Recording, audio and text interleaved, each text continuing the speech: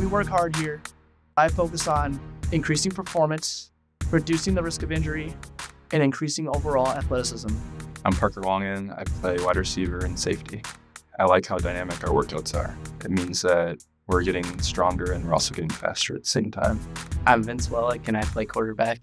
I started working on more rotational movements, and that's helped me throw better football. Everything we do in here complements what we do out there.